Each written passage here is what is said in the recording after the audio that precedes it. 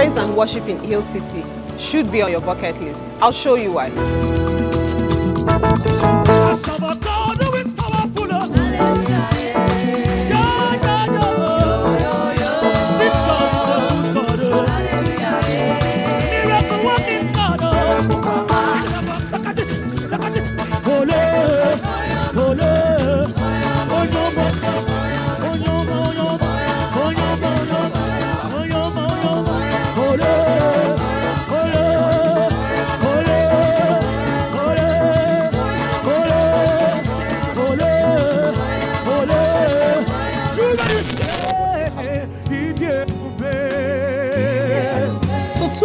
Stood out for me in Pastor Segun's message today.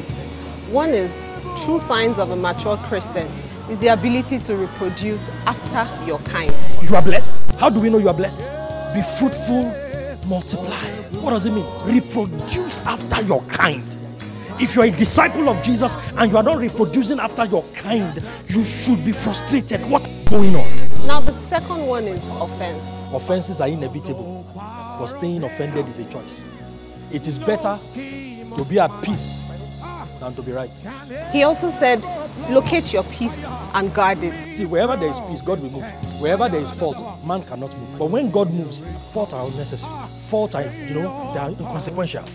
To listen to the concluding part of this message, join us at Hill City, Oregun, Lagos, on site, or you can join us online on Facebook, Mixlr, and YouTube.